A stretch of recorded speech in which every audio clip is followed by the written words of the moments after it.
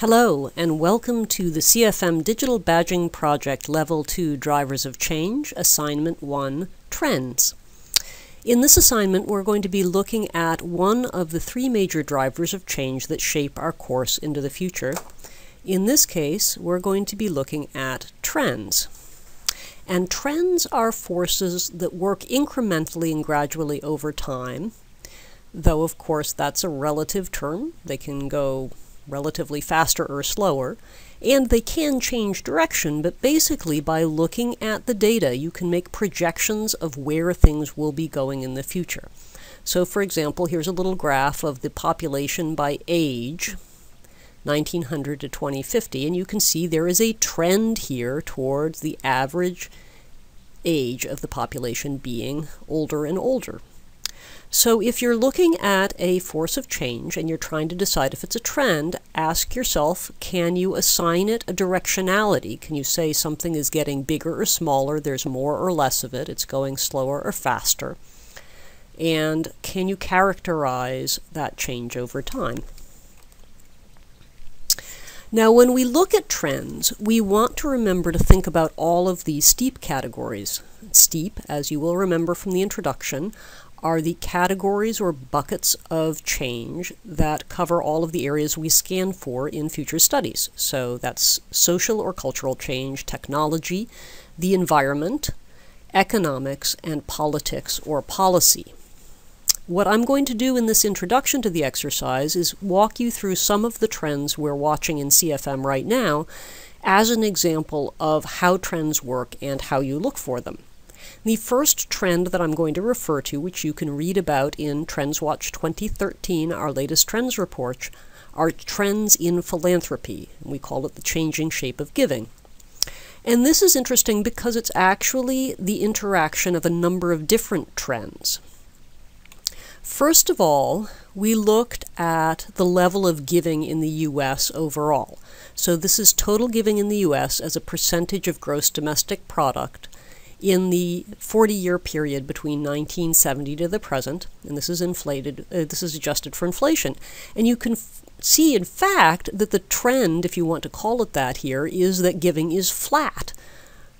We give about 2% of our gross domestic product, adjusted for inflation, to charity nationally. So giving overall is not changing that much as a percentage of our wealth. But there are some very interesting trends that intersect with this. Uh, this blue line is charitable giving adjusted for inflation from 1991 to 2010. Now you see it's going up. That's because this isn't corrected as a percentage of gross domestic product. This is just absolute giving adjusted for inflation. And in fact, you can see it's gone up by 73%. Not bad. So at least as an absolute amount, we're giving more. However, this is where it gets scary. Even though the number of museums hasn't increased very much over that time, there's a very slow trend upward in the number of museums. They've increased about 15% in the past 20 years. The number of nonprofits overall has soared. It's grown by 148%. So there are way more nonprofit entities competing for money that isn't growing at the same rate. This is our competitive environment, and it makes it imperative that we look at behavioral or cultural trends in giving.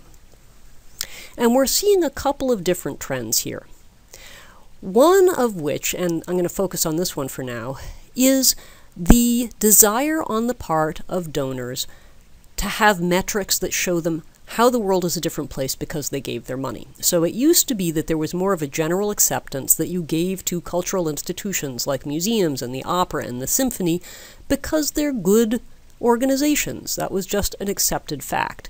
Now, some of the major donor groups, including, for example, millennials, who are our donors of the future, and women who outgive their male counterparts by over 80%, or foundations, are all saying we want measurements. It's not enough to say you're a good organization. We want to know how you're making a difference with the money we gave you. What are the outcomes or the outputs you can measure of the project funding that we contributed? If you have an after school program, we don't want to just know how many kids you served, we want to know whether their school performance or their dropout rate or their teen pregnancy rate, whatever you want to measure as a metric, has actually gotten better in the direction we'd like it to go. So there is a cultural trend that interacts with the economic trends to make this an area that museums should keep an eye on. The changing shape of giving. Another trend in the area of technology are a couple of trends associated with a form of additive manufacturing called 3D printing. This is a little tabletop 3D printer. Now, 10 or 20 years ago, we had digital printers that could create artifacts by fusing together uh, or, or liquefying and solidifying elements like plastic or metal. But 10 or 20 years ago, these cost $100,000 and were only being used by industry. And then as time went on, they became less expensive. It only cost 10000 As that trend of the mechanics getting less and less expensive continued, now we've got to the point where this tabletop model, which is, you know, still kind of rough in terms of the quality of its product, but not bad, only costs $2,000. Now we're getting within the realm of anybody being able to buy one and have it in their house to play with. What can you do with a 3D printer? You can print 3D objects if you have the digital data, the digital specifications, telling you what it should look like. So here's a Jeff Koons balloon dog. You know Jeff Koons sculptures. Somebody took the digital specifications of the sculpture, capturing it either with video or with some other kind of scanning device, fed that digital specification into a 3D printer, and it fused together plastic to make a miniature digital, a miniature physical replica of the sculpture from the digital data. Something so simple even a child can do it. You can also manipulate and mash up the data. So for example, here's an object that was created at a hackathon at the Metropolitan Museum where somebody scanned two different sculptures, manipulated the digital data to make a new artifact, and then printed it out and it can also be used for research. Here is a 3D replica of an early hominid skull that was created from a digital scan that can, is accurate enough to help researchers with their work. So, several trends here as well. The technological trend of having a highly sophisticated way to turn digital data into a physical object, and the mechanics of that becoming less and less expensive, as well as an increased desire on the part of users, whether it's learners or artists or scientists, to use this technology to do their work. 3D printing. The last trend I'm going to look at as an example are trends in education, or as we call it, the Great Unbundling. Now, all of these trends are in TrendsWatch 2013 if you want to read more about them. One of the trends here is the increasing amount of average student debt. Right now, the average college student is graduating with $25,000 in educational loans that they have to pay back. And at the same time, they have rising unemployment, another trend. So, for the first three years out of college, over 50% of college graduates are either unemployed or underemployed. So, that means they have no source of income to pay back that debt. At the same time, collision of trends again, we have a rising number of other ways of getting instructional content, whether it's digital textbooks, whether it's high quality streaming video, where there might be content through sites like TEDx or Big Think or Khan Academy.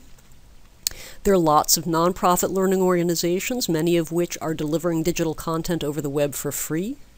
You have the rise of massive open online courses where major universities like Stanford, Yale, University of Pennsylvania are offering content over the web, sometimes for free, sometimes for a fee if you're going to get a credit, but still much less than college tuition.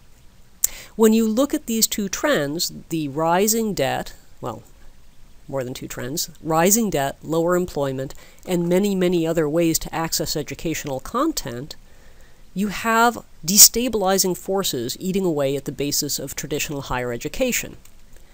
The last trend we're seeing that might impel a new era of education is the rise of credentialing systems that enable people to use these alternate sources of instruction, whether it's online courses or face to face mentoring, to get recognized, respected credentials that they can then use in smaller pieces, so called micro credentials, to build up the equivalent of a traditional resume that says, I graduated from X college with this degree.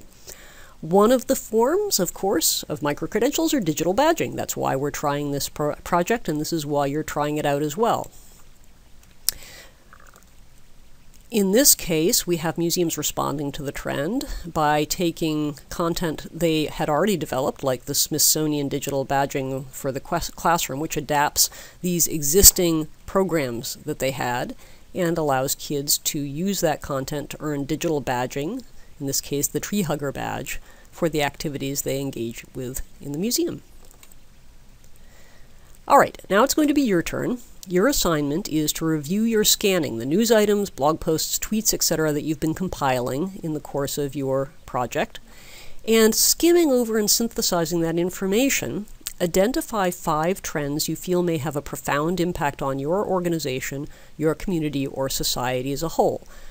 And remember to think about all the STEEP categories. It could be a cultural trend, it could be technology, it could be economic. And you will be filling out your trends worksheet based on that content. I look forward to seeing what you submit.